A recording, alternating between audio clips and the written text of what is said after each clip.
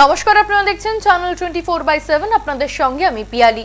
এই মুহূর্তে যে গুরুত্বপূর্ণ খবরের দিকে চোখ রাখব, মদের দোকানে ভাইয়ের দাদাগিরির পর এবার দাদার দাদাগিরি রেশন দোকানে।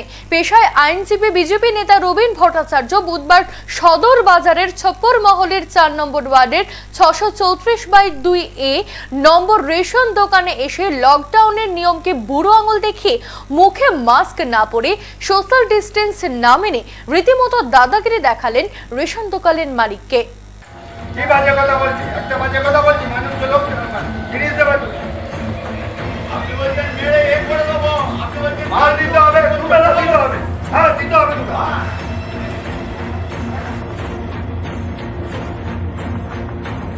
পেশায় আইনজীবী রাজনীতির কারবারি রবীন ভট্টাচার্য এর আগেও লকডাউনের নিয়ম না মেনে মুখে মাস্ক না দিয়ে এবং সোশ্যাল ডিস্টেন্স না রেখে খাদ্য সামগ্রী দানে ব্রতী হয়েছিলেন। তাও আবার ওই খাদ্য সামগ্রী উনিশ নম্বর ওয়ার্ডের বাসিন্দাদের না দিয়ে বহিরাগতদের দিয়ে নাম কেনার চেষ্টায় ছিলেন। তারপরেই তার খেসারত দিতে হয় বাসিন্দাকে করোনায় আক্রান্ত হয়ে।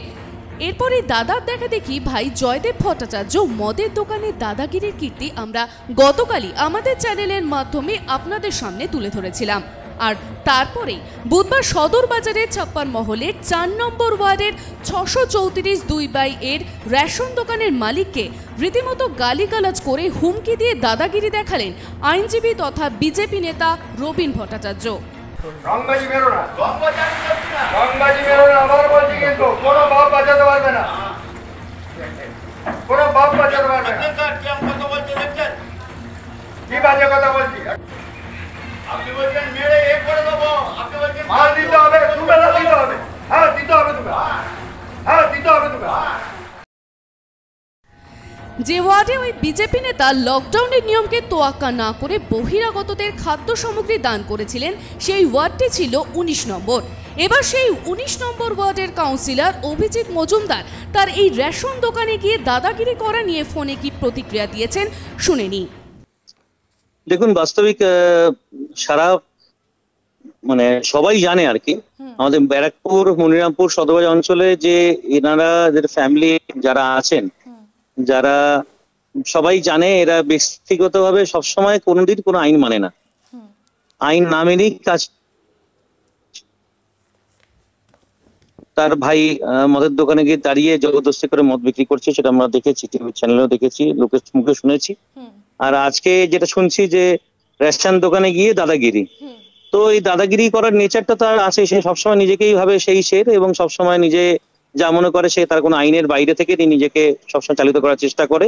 এবং অবশ্যই প্রশাসনের কাছে অনুরোধ রাখব এই ধরনের ব্যক্তির ব্যাপারটা বিচার করে দেখার জন্য এবং এখানে যাতে করে এলাকায় শান্তি শৃঙ্খলা বজায় থাকে এলাকায় যে অশান্তি না হয় মানুষ যাতে সুষ্ঠু হয়ে লাইনে দাঁড়িয়ে রেশন পায়। কারণ সরকার যেখানে সব রকম ব্যবস্থা করছে যে রেশনের দোকান থেকে সঠিকভাবে প্রত্যেককে রেশনে যে রেশনের দ্রব্যগুলো আছে সেগুলো তারা পাচ্ছেন। পশ্চিমবঙ্গ সরকার আর কে এস ওয়াই ওয়ান আর কে এস ওয়াই টুর মাধ্যমে যারা সেন্ট্রালের চাল ডাল পাচ্ছে না তাদেরকেও দেওয়ার ব্যবস্থা করছে। সেখানে দাঁড়িয়ে একটা সুব্যবস্থা যেখানে করা হচ্ছে সেখানে দাঁড়িয়ে থেকে নিয়ে এসে জবরদস্তি করে মানুষকে বিভ্রান্ত করে নিজের পছন্দের লোককে লাইনে দাঁড় করিয়ে তাদেরকে মাল দেওয়ার ব্যবস্থা করা রেশন দোকানের লোককে হুমকি দেওয়া এটা তার চরিত্র। এই জিনিসটাকে অবশ্যই মানে কন্ডেম করব আমরা এবং অবশ্যই বলব প্রশাসনকে এবং এসডিও সাহেবকে এবং সবাই পুলিশম্যানকে একদম আইনানুগ ব্যবস্থা নেওয়ার জন্য কারণ এটা শেষ নয়।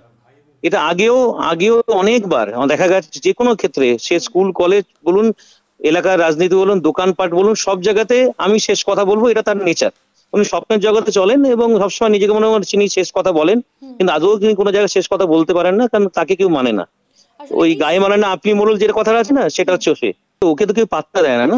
বাস্তবিক তৃণমূলে থাকে যখন ছিল তখনও এই সমস্ত অন্যায় কাজকর্ম করতো দল থেকে তাকে বের করে দেওয়া হয়েছে মোটামুটি এক নম্বরে বলা যেতে পারে। এবং দলে ও কোনটাশাই ছিল এবং দলে কেউ ওকে পাত্তা দিত না। এবং সেখানে দাঁড়িয়ে থেকে নিজে আমি শেষ কথা বলব সবসময় নিজে স্বপ্নের জগতে চলবো এইটা করতো। আজকে বিজেপিতে গেছে বিজেপির লোকেরা নিশ্চয়ই তারা বুঝতে পারছে কাকে নিয়ে তারা ঘর করছে। এবং ওর এই নেচারটা কখনো শেষ হবে না চেঞ্জ হয় না। একটা কথা আছে না অনেক সময় যে অনেক জিনিসকে সোজা করলেও সেটা আবার বেঁকে ঘুরে যায়। তো এটা হচ্ছে তার চরিত্র আর কি। উনি ওই ওই ভদ্রলোক তিনি আগেও আমার ওয়ার্ডে এসে এলাকায় এসে এখানে বাইরের লোকজনকে নিয়ে এসে এখানে ত্রাণ দেওয়ার নাম করে এলাকায় সোশ্যাল ডিস্টেন্সিং তো মেনটেন করা তো দূরের কথা নিজে মাস্ক না পরে নিজে দেখাচ্ছে যে এখানে আইন মানেন না। তিনি আইন তিনি আইন বিশেষজ্ঞ। এবং আজকে আবার তারপর আমরা দেখলাম কি তার ওই ঘটনা ঘটার পরের একদিনের মধ্যেই সেখানে একদিন করোনা ধরা পড়ল। আবার যে ওনার তাণ্ডবের চোখ করে এবং সেখানে সোশ্যাল ডিস্টেন্সিং না মেনটেন করার জন্য আবার যদি কোনো কিছু হয় তার দায়িত্ব তাকেই নিতে হবে এবং আমি বলব যে প্রশাসনকে উপযুক্ত ব্যবস্থা নেওয়া। কারণ আমরা সবাই চিন্তিত এবং এই সমস্ত যারা চিন্তা করে না যারা সমাজকে তোয়াক্কা করে না যারা মাইনকে মানে না তাদের দৃষ্টান্তমূলক শাস্তি হওয়া উচিত। পরিশেষে স্থানীয়রা একটু টিপ্পনি কেটে বলে ফেললেন এই চার নম্বর ওয়ার্ডের কাউন্সিলর আবার তার স্ত্রী। সুতরাং একটু দাদাগিরি না দেখালে ঘরে বাইরে মান থাকে না তাই না? রংবাজি মেরো না। রংবাজি মেরো না আবার বলছি কিন্তু কোনো বাপ বাঁচাতে পারবে না কোনো বাপ বাঁচাতে পারবে না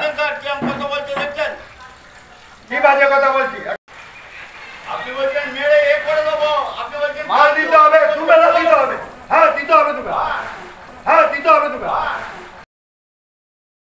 কি বাজে কথা বলছি? একটা বাজে কথা বলছি মানুষকে লোক জিনিস দেবে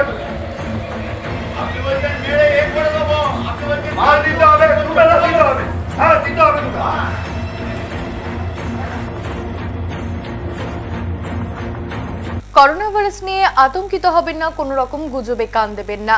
বাড়িতে থাকুন, সুস্থ থাকুন। অপর অপরজনকে সুস্থ থাকতে সাহায্য করুন। বাইরে বেরোলে অবশ্যই মাস্ক ব্যবহার করুন। বাড়িতে থাকাকালীন বারংবার সাবান দিয়ে হাত ধোন এবং সুস্থ থাকুন। এখনকার মতো এই পর্যন্তই। দেখতে থাকুন channel twenty four by seven